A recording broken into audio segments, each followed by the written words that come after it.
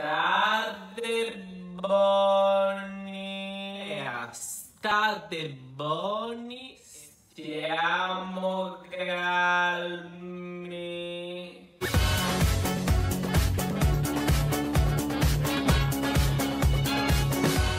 Eh sì, state buoni perché è proprio in questi momenti di grande esaltazione che bisogna andare tranquilli per non rischiare tra un anno, come già successo, di ritrovarci con dei giocatori che diventano incredibilmente delle pippe e degli allenatori che invece diventano dei cialtroni.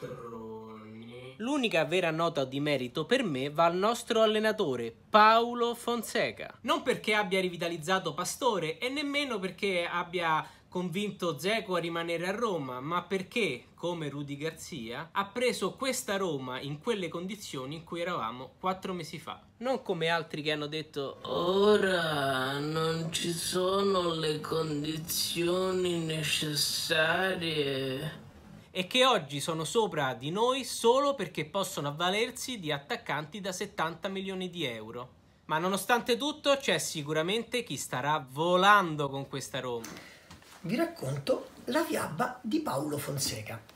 In questa fiaba c'è un calciatore di nome Mancini che inizia a fare il centrocampista in maniera eccellente.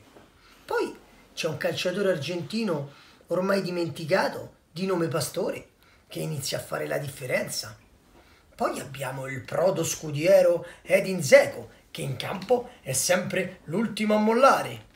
E poi, come in tutte le fiabe, c'è il principe azzurro Niccolò che ci fa vincere a suon di gol. E quindi, se i sogni a volte diventano realtà, perché smettere di sognare? Forza Roma!